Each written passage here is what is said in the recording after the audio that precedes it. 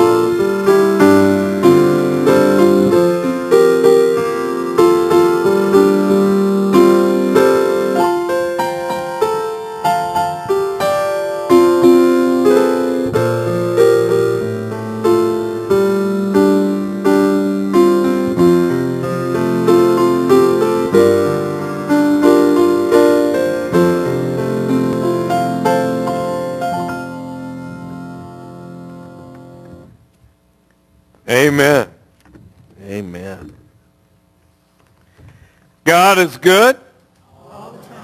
And all the time. Okay. All right. Well, I want to welcome you, and uh, I'll have prayer, and then we'll have announcements. But I just want to welcome you and just uh, pray that you feel God's presence today. Pray that you just uh, Know that you're loved, that you're forgiven, that this sanctuary, this church is for all because we all need the Lord. I'm going to ask you to bow your heads, and with your heads bowed, I'm going to ask you to open your hands, but also your minds and your hearts. Let us go to the Lord. Gracious God, we thank you and praise you for this day that you have made. I just want to tell you good morning. I just want to thank you for who you are. You are our Lord and Savior. There is none like you. And what a blessing it is to come and praise you and, and worship you. But gracious God, I, I have to admit, I, I can't speak for anyone else. But there's times, dear Lord, my focus isn't on you. It's much like the prophet Isaiah said, I, I can say it with my mouth, but many times my heart, my mind are far from you. My focus isn't always on you.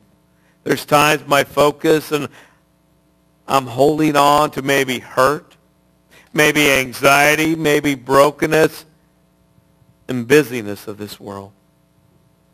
But gracious God, we weren't meant to carry it. 700 times in your word, you tell us to come to you. And I pray today that we would allow you to work in our lives.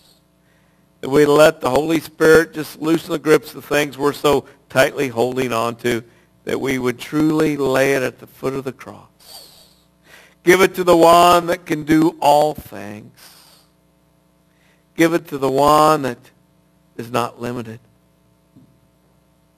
Gracious God, I ask that you would fill these empty, open hands with the blessings that you have for each one of us.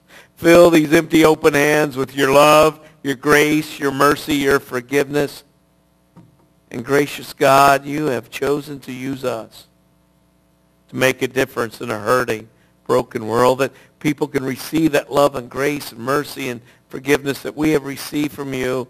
They can receive it from us minister to each and every heart. And I pray if anyone needs a special touch today, that they'd feel your presence. Know that they are loved. Know that you never leave nor forsake, that we can always count on you. So minister to each and every heart today. These things we pray in Jesus' precious name. And all of God's children say, Amen. Amen. Okay, now's the time for announcements. Are there any announcements today? And if you would, just raise your hand. The ushers will bring a mic to you. Okay.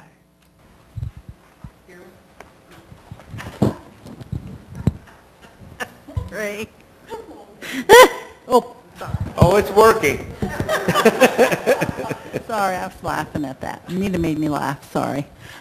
Hey, over here on the wall by the UMW uh, picture window, or whatever we call the bulletin boards, excuse me, get that right. Anyways, there is no tags left for the soup supper. Thank you, thank you, thank you. Amen. So, looks like we're going to have a great um, soup supper. I'll be reminding you to bring your stuff in a couple of weeks and uh, just see how it all turns out in November. Amen.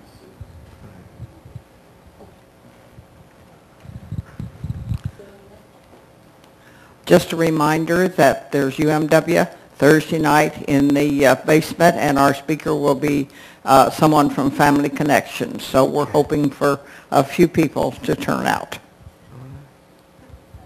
Oh, and they said it's Cookie Sunday. It's on the bulletin, but don't forget to go down.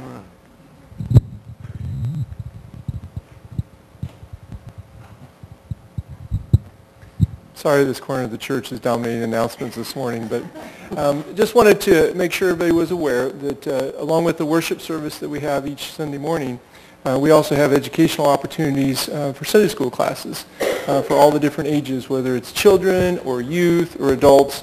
Um, the opportunity is there, the teachers are there, the curriculum is there, um, and we're very much uh, would like to invite you to participate in that opportunity. Um, we also, hopefully in the near future, um, have an opportunity to maybe go out and uh, bring people in, uh, maybe be re, uh, re uh, I guess restarting the, the van ministry of going and bringing folks get offer, giving them an opportunity to come in. So um, just want to make sure people are aware of that. You're very much invited, and I think we have uh, some great opportunities here you can participate in. Thank you. Thank you. Also, uh, today, the Minister Alliance at the Presbyterian Church will uh, start at 5:30, and all the proceeds go uh, for funds for Minister Alliance. And uh, that starts at 5:30, but if you signed up for a salad, to bring a salad, if you would take it to the Presbyterian Church between 4 and 5 o'clock, they'd greatly appreciate it. Okay, yes. Um, Just a reminder, in the bulletin, we haven't um, had a Vision 2020 team meeting for a couple of months, but we will meet after leadership on Tuesday um, to kind of kick off and and discuss a lot of things of where we need to go. So please join us for that meeting. Okay, so leadership is at 6:30, and then uh, Vision 2020 on Tuesday, October the 2nd. Okay, thank you. I just happen to think um, the Beth Moore Bible study tonight will be at 4:30 instead of 6 due to what's going on at the Presbyterian Church. So 4:30 tonight. Thank you. Okay. And the pastor Bible study will be next week at 6 o'clock. Okay. Thank you. Are there any others? Are there any others? a little bit unusual, but because I care for all of you guys, we have already had positive flu in Ellsworth County, so go get your flu shots. Yeah, it's time to think about that. A little earlier than usual, but it's there, so protect yourself.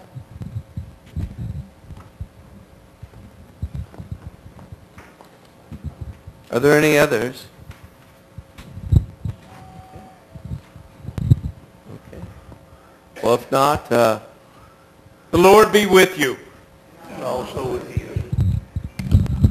You would, would you please stand as we have the call to worship? If you're comfortable standing. Oh, okay. Oh, it is. Let's greet.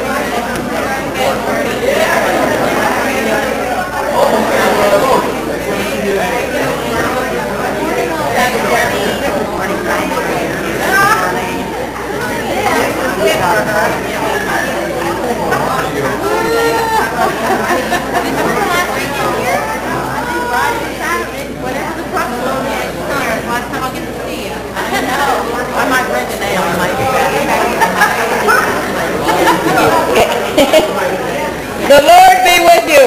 And also with you. Now we'll do the call to worship. Boy, I feel much better. Talk and act like a person expecting to be judged by the rule that sets you free. You can hardly expect to be treated kindly.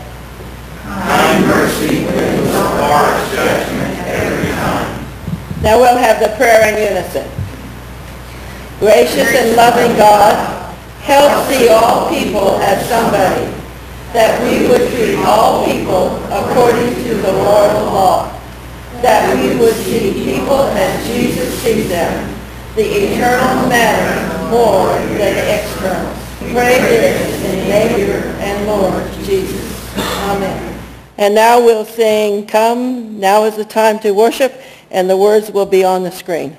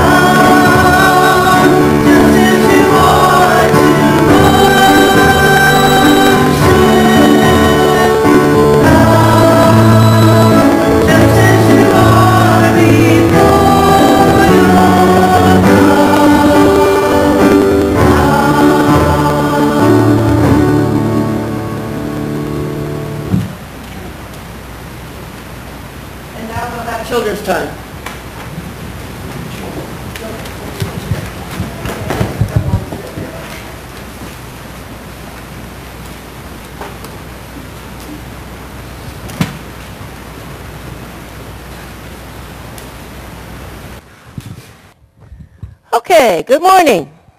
How are you? We're going to talk about something that different this morning. Uh, as you saw on the bulletin, uh, Lou Adams is supposed to be here, and do you see Lou Adams? Nope, you see me. So you know what I am? I'm a substitute. Have you ever had a substitute? Yeah. Yeah? You know what a substitute is, is it? What's a substitute? A different teacher, right. But there's a lot of other things you can substitute. And if you saw on the front of the bulletin, it says Cookie Sunday. Well, you know how some people's gardens grow and they get abundance of something? What happens if you go downstairs for cookies and that person has brought in something that they're trying to get rid of instead of cookies? You know what that would be? What if everybody got squash as a substitute for cookies? You don't get a cookie, you got to take home squash. Would you like that? No. Sometimes substitutes are good, sometimes they're not. Jackson, what's your favorite food? Steak? Okay? So you come home and your just mouth's just been watering all day. Mom's going to have to have a big juicy steak for you, right? And you get home and you know what she has? popcorn shrimp. Because she didn't have any steak, but she had lots of popcorn shrimp. Would you be disappointed? Yes. Sometimes substitutes are good, sometimes substitutes are not. But I'm going to tell you one thing for sure. There is no substitute for one person. Do you know who that person would be? He gives you lots of things. What? God, you're right. There's no substitute for God. So no matter what you do, they see, he sees what you do, he hears what you do, and he loves you no matter what. If you're naughty, he still loves you. Isn't that good? Yep. So let's have a prayer, and then I have a substitute for you. Okay? It, it may be good. It's not squash. Dear God, we just want to thank you for always being there for us. You love us no matter what. You look after us and care for us. And sometimes we're not very good about thanking you for all the things that you do for us. But Lord, we all love you with all our heart. And we pray that you will continue to watch over us in all our needs. In Jesus' name we pray. Amen.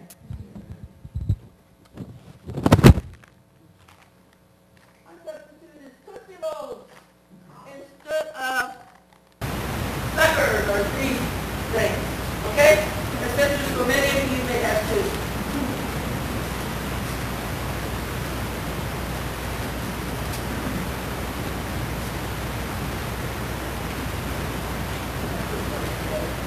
Was that.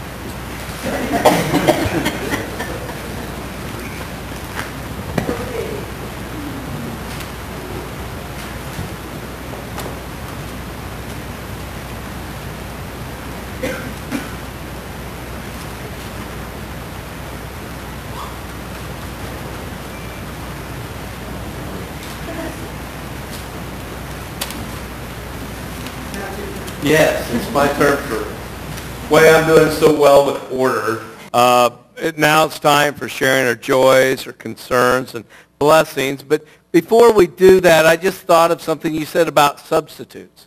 My grandfather uh, has passed away. His name was Clark Covington. He was a member of the First Baptist Church in Nevada, Missouri, and he loved growing things in the garden.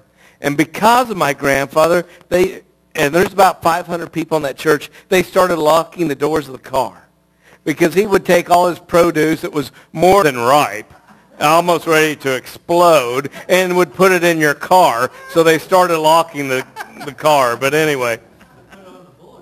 Yeah, yeah, on the bulletin.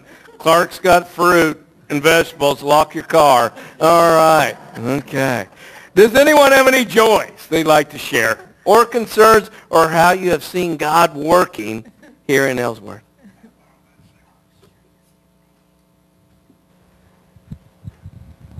We'll take one at a time.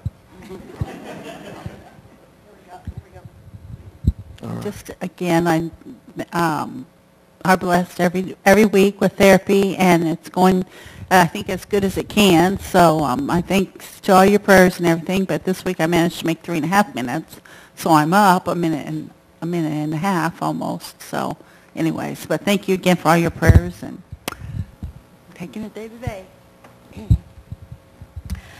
Um, I think you probably have seen um, a request for Ken for Tuesday. He's going to have a heart catheter. We're just trying to find out some answers for some medical issues, and uh, we just thank you for the prayers that uh, have been offered and for the prayers that will be received as well. On a different note, I had another opportunity this week to go out to my home um, out in Oberlin and uh, continue to help clean out my childhood home. Um, Mom had kind of been the center of a lot of family things for many years, and so there's just lots of stuff accumulated. and amidst all the stuff, you find blessings. Um, one side of the family was had been in the United States for a long time. They were staunch Methodists. There was a Sunday school uh, songbook from my great-grandmother, which was just really pretty fun. And then we found Swedish hymnals from my dad's side of the family who had come to America. Um, they had their favorite ones marked. Had no clue what they are, but songs of faith. And um, what a wonderful heritage. Do we have a perfect family? Uh, no, we don't. Are we still working through things uh, with the inheritance and settling things? Yes, we are. But we're able to work together as a family and come together in love and, and forgiveness and how important forgiveness is in all of our lives. Because if we carry bitterness in our hearts, oh, we can't survive. We just can't survive. So that's the blessing. The blessing of hope, the blessing of love, and the blessing of forgiveness. David Bondrager called me last night and said that he's home, and so that's a good deal. Uh, he said he thanked everybody for the prayers that's been given to him, and so uh, he's just going to recuperate for a few more days at home, uh, make sure that he gets over this uh, cough and everything. So uh, he just wanted to, me to tell you that uh, thank you for the prayers.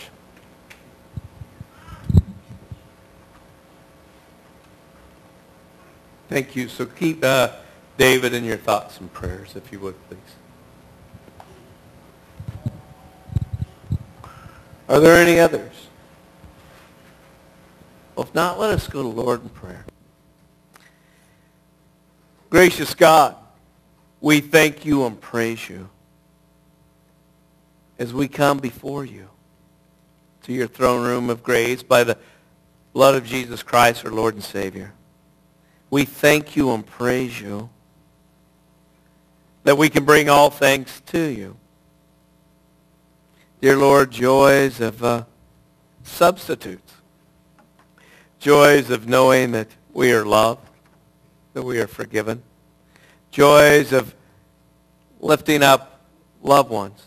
Like David, dear Lord, we pray for continual healing and strength. For Ken, dear Lord, as he has his test Tuesday. Give the doctors the knowledge and wisdom that is needed. For Alice and her family, dear Lord, we thank you and praise you for the treasures we have, and those treasures are family. Dear Lord, there's times that we just need to feel your presence.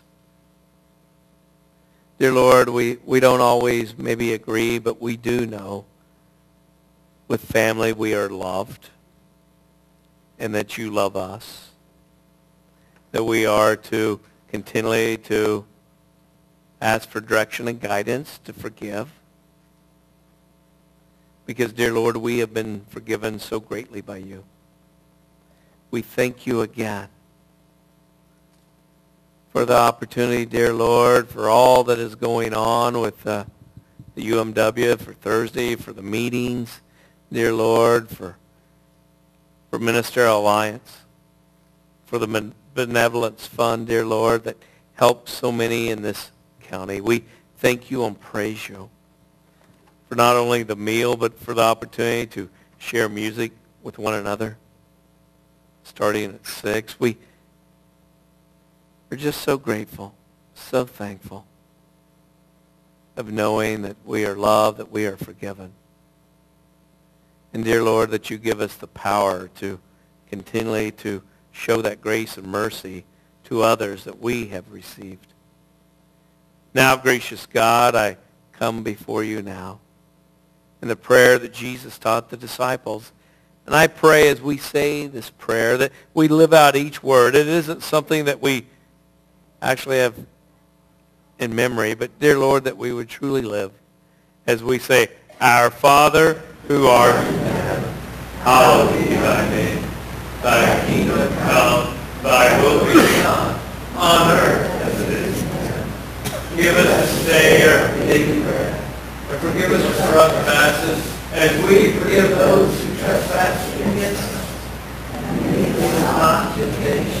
but deliver us from evil. Is the kingdom, the power, and the glory forever. Amen.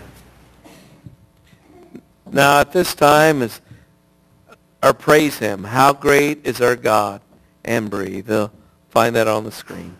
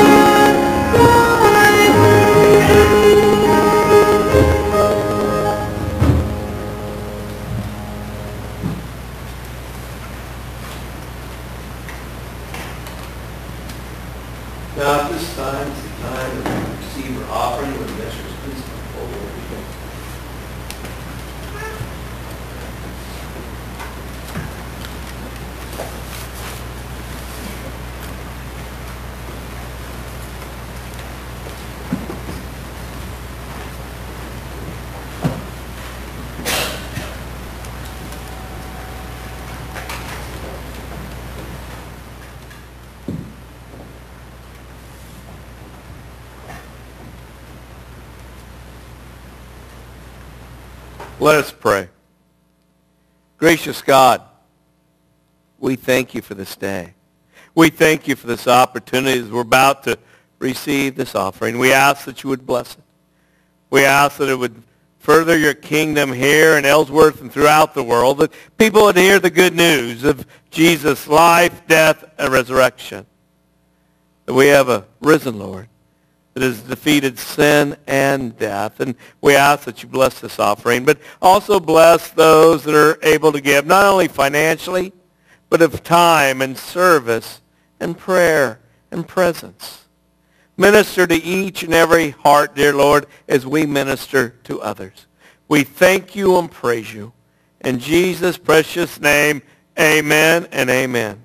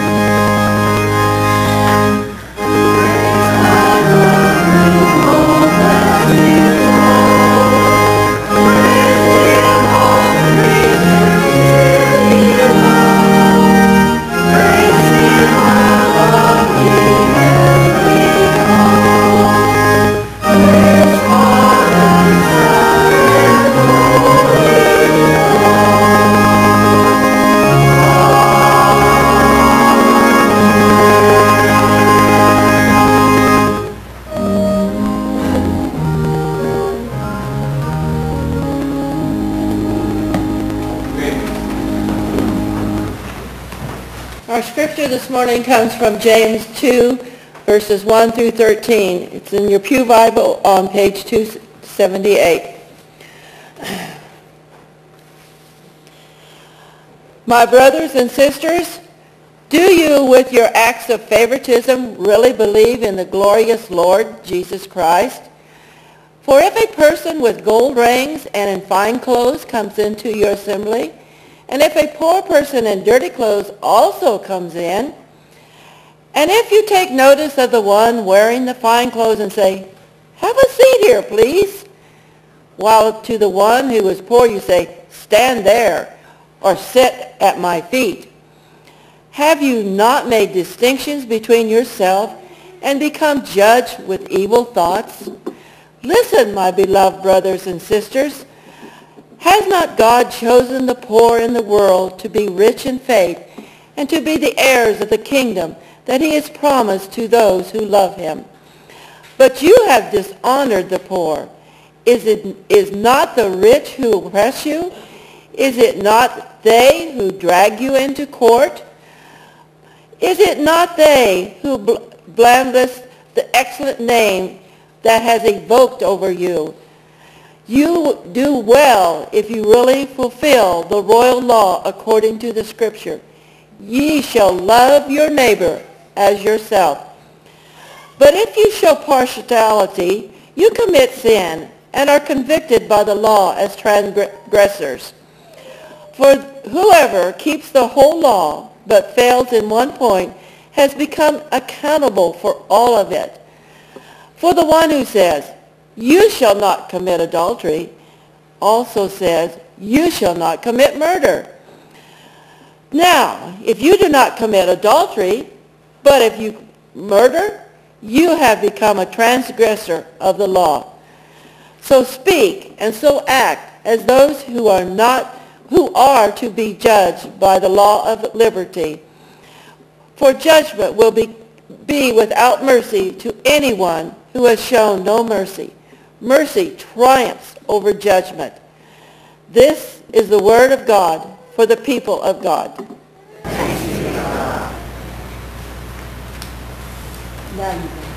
Okay, thank you. I need some guidance, not only with the Holy Spirit, but also from others. All right. Well, today we're going to be uh, talking about how to avoid the sin of partiality, uh, about prejudice. Because uh, this sanctification stuff that we've been talking about, becoming more like Jesus is, well, it can get pretty gritty, can it? It, it can be even difficult, and especially when we start dealing with the way that we talk about others or, or treat others.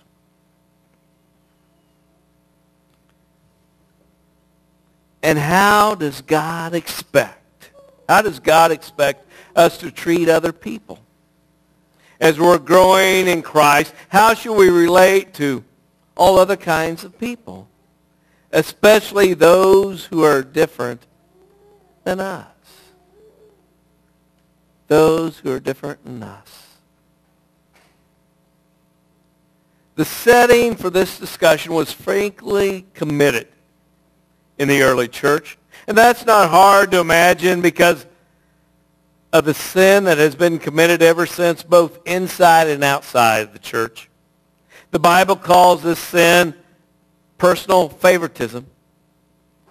It goes by other names as racism, classism, and culturalism. Racism is prejudice against the skin color. Classism is prejudice against the person's economic status that does not match yours. And culturalism is prejudice against someone whose way of life or manner of dress or personal preferences are different than yours. The problem comes when we start making judgment about personal worth based on external criteria. The sin of prejudice was prevalent in the first century because of the Jews and Gentiles.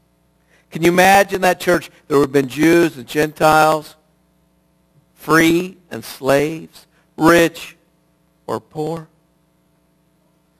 And they didn't always treat one another the way that God would desire as Christians, followers of Jesus Christ, how we should treat one another.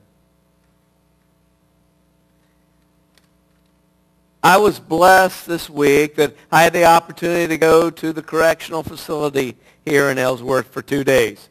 Blessed that I was able to get out, but I got to see some things only God can do. I got to see men of different color. I, I got to see the opportunity of men of different gangs. And by the grace of God, people being transformed. People being transformed. And then it made me also think, how did Jesus treat people? Was there any partiality in, Jesus? I think of the widow's mite. If we look at financially, one could uh, see uh, classism really big, but not with Jesus. You see, in the temple, there would have been 12 places that you would put your offering, and, and the horn was much like a tuba. And those that had quite a bit of money, they liked to bring their money, it would change, and, and throw it in there and make all kinds of noise. Now, the woman with the widow's mite. It's about the size of a pencil eraser on a number two pencil. It's only about this big. It's worth about an eighth of a penny. She had two of them. And she put them in. It would have made a lot of sound, but Jesus noticed. Because they were giving out of, those with money was giving out of their excess. But she was giving all that she had. And Jesus recognized her for the faith that she had. It wasn't the mouth that she gave, but her faith. It wasn't the external, but it was the internal. Also, I can also look at the Samaritan woman. We could see racism, we could see classism, we could see culturalism in all three of those. That was in John chapter 4, in the very beginning of Jesus' ministry. And a good Jew wouldn't even go through Samaria. They would actually would take an extra two weeks out of their trip just to stay away from there because they looked at the people as, as half-breeds. It tells us it was about noon. Jesus was hungry. He sent his men into the village to go ahead and get some food. And here comes a woman with a pitcher. Like I said, it was noon. And the reason she came at that time, she didn't want others to talk about her. She didn't want others to make fun of her. She would rather come in the heat of the day than mess with any of that. And then here is Jesus, as she recognizes a rabbi, a Jewish man, and he spoke to her, which was unheard of. Unheard of. And Jesus asked for, talked to her, even gave her, talked about giving her living water. Something that would more than satisfy, so much greater than the water that she was coming after. In other words, he was offering her eternal life. He even told her that he was the Messiah. He said, go home and tell your husband she says, I don't have a husband. He said, you're right in saying that. Not only you don't have a husband, but you've been married five times.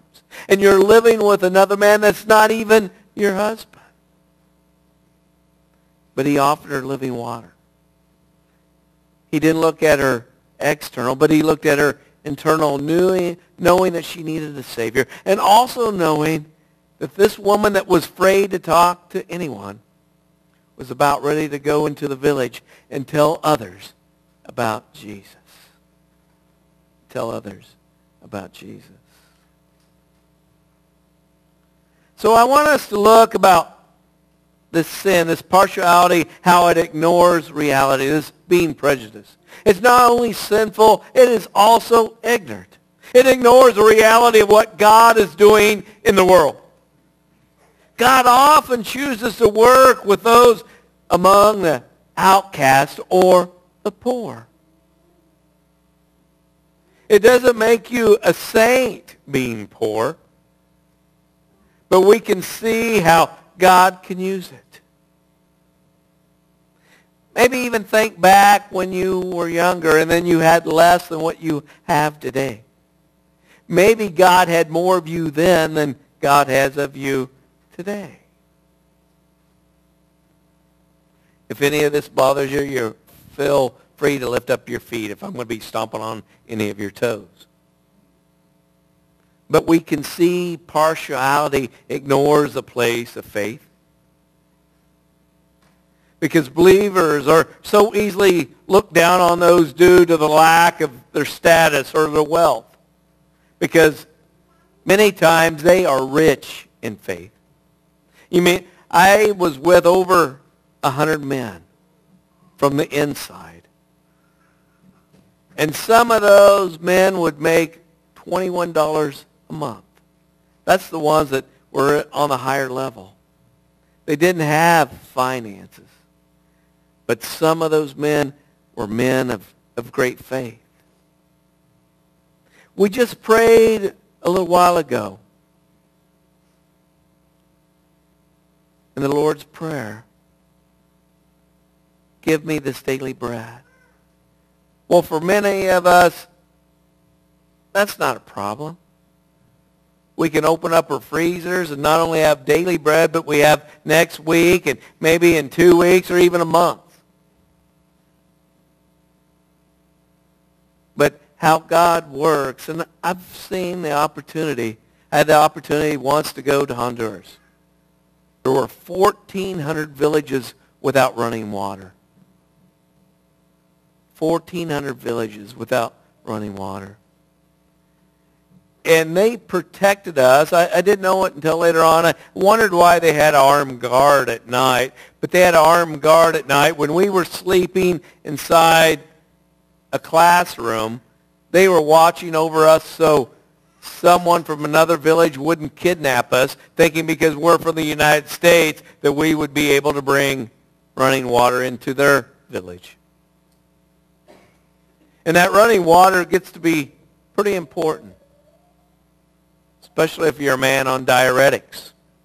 That's why I don't take my diuretics in the morning on Sunday morning because I would come here and say, excuse me. I'd come back, there wouldn't be any of you here. So you have no excuse. I didn't take my diuretics. But what I want to tell you, about 3 in the morning, I heard three gunshots from a shotgun. I think, Oh my, because I was about ready to go to the restroom. And I hear these three gunshots. I hear that they're worried about them kidnapping. I'll just wait until 6. But I got to see those people without anything.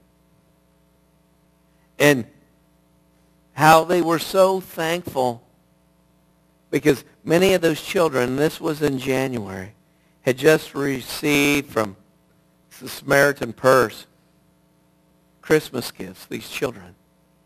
And they were so thankful. And they said, I know this came from you, and because it had United Methodist Church on it. And I said, no, but we did give gifts, but wow, what a blessing. And they were so thankful. And everything they had, they were thankful. And whatever they received, they were using it.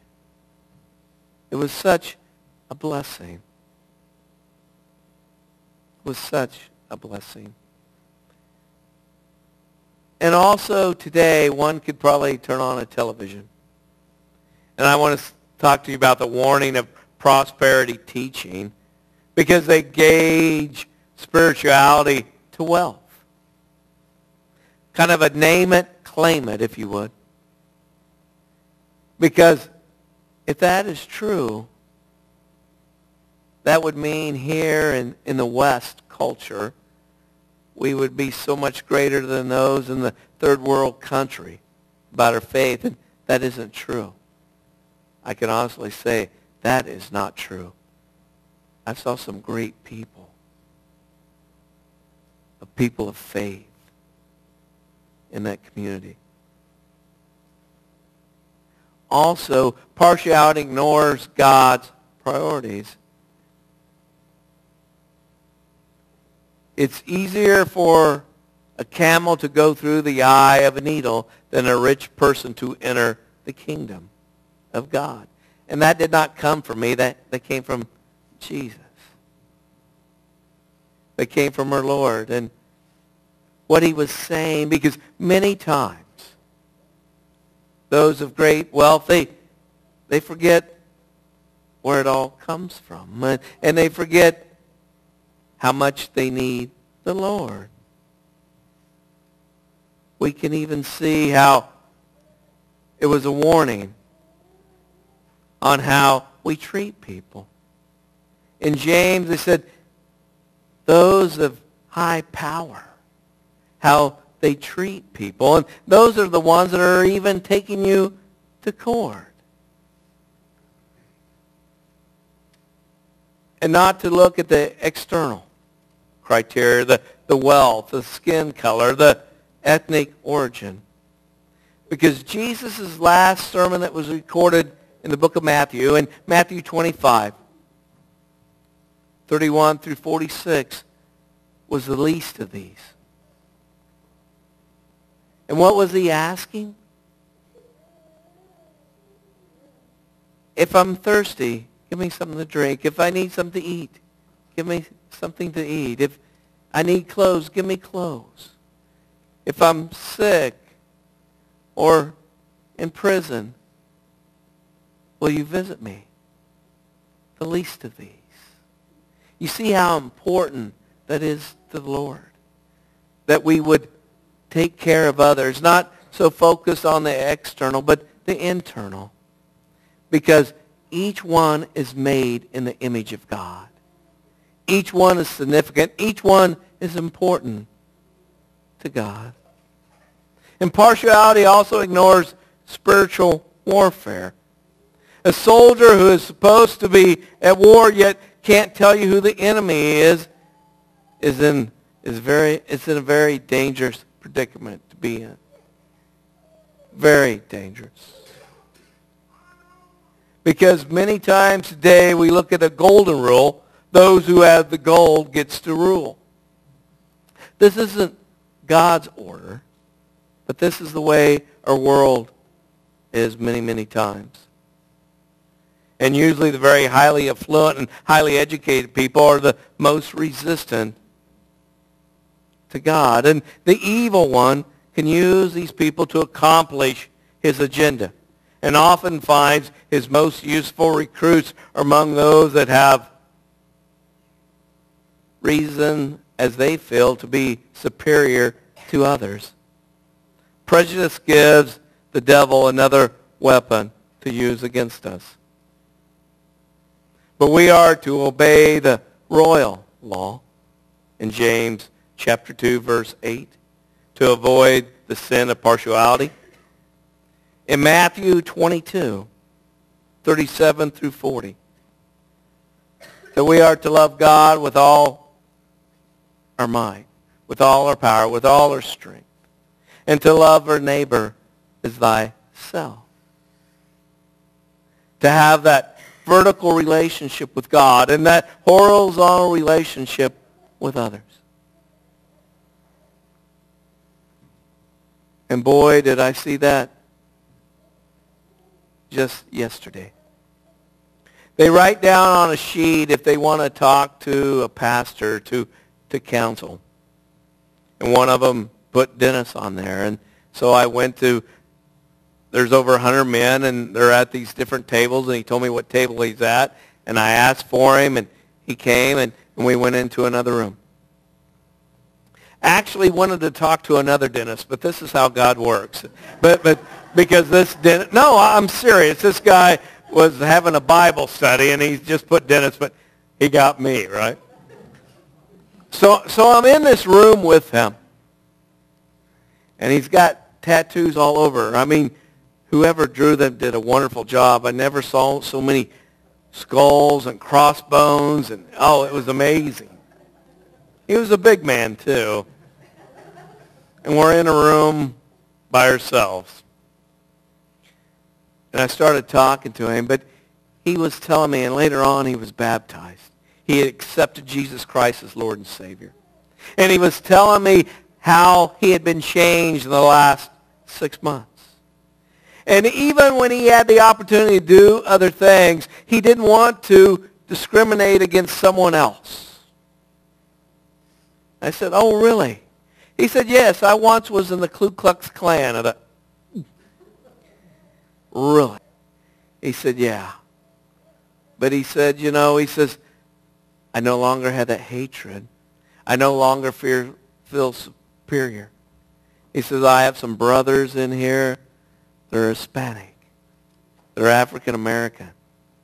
And I love them and I care for them. He said, now a lot of them still may not accept who I once was. And he said, I can understand that, but I have been changed.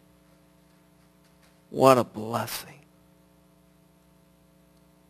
You know, and I knew I was going to preach on uh, the sin of partiality three months ago, but I didn't know I was going to be talking to someone that was once a Ku Klux Klan. God is so good. God is so good.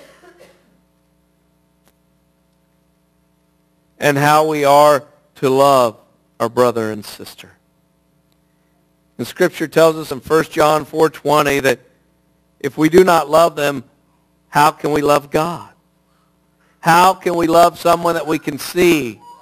Or if we don't love them, that someone we can see, how can we love someone that we can't see? That we are to love our brother, that we are to love our sister. And how important that is. And then call a partiality what it is. It's a sin. The scripture tells us that it's a sin. If we're looking and focusing more on someone that is dressed nice, that looks like GQ, say, oh, you can have the good seat. But if we have someone come in that isn't dressed as nice, say, you know, you can have this, but you can even sit on my feet. No. It's a sin. And the scripture tells us we're transgressors. And if we sin one, we've sinned against all because it is in unity. It's in unity. And then that we are to show mercy to all. Because we will all be judged. And James is talking about believers. He's, he's not talking to, to those that do not know Jesus Christ as Lord and Savior. But he's saying one is going to be judged, and one is, but if you have mercy.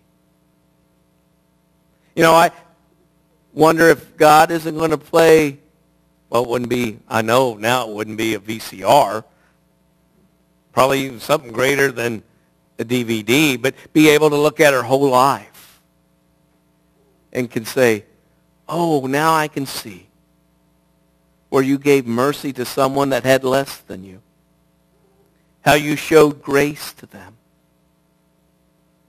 It didn't matter what color they were.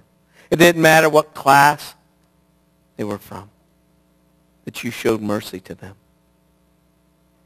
That you showed mercy. This is how we're going to be looked at. And by God's grace. By God's grace by the direction and the guidance of the Holy Spirit and, and God's Word. That we would look at everyone and know that we've all been made in the image of God. There was a man. His name was Gandhi. He had read the Sermon on the Mount, and he said, man, these Christians, They must have it. So he went to, he was in India, he went to a Christian church. And he said the way that he was treated, he didn't want any part of Christianity. Yeah, he, that Jesus was great. But those that followed him, he didn't want any part of it. And I pray that none of us would be that way. I pray that we would all be gracious, that we'd all be loving, that we wouldn't have the sin of partiality. So let us go to the Lord in prayer. Gracious God, you know there's times that we have fallen short. We've looked at people and looked at them from the external instead of the internal. We haven't always treated people that the way that we should. So I thank you for your forgiveness. And I also ask that you would continue to guide us and direct us. That we'd be more compassionate, that we'd be more loving. And we thank you again for loving us, for forgiving us, and that we would be more gracious to all. These things we pray in Jesus' precious name. Amen and amen.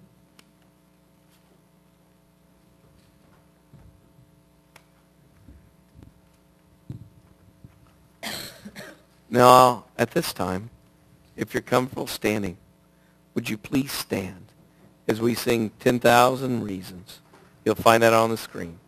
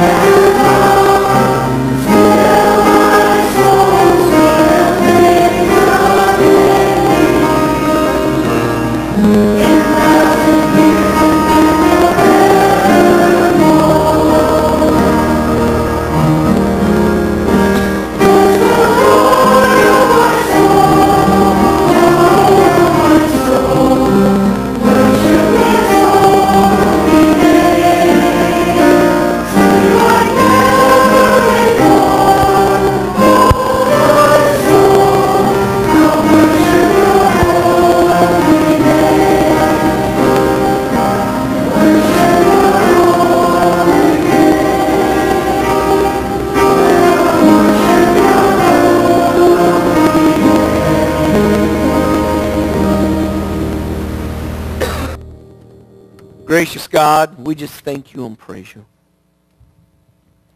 And dear Lord, that we would be loving and gracious to all your people because we've been all made in your image. They're all significant. We're all important to you. And dear Lord, that we would share that love and that forgiveness that we have received. So I just thank you and praise you. And I send them out in your power. Power of God the Father, God the Son, and God the Holy Spirit. In Jesus' precious name, amen and amen. God bless you all.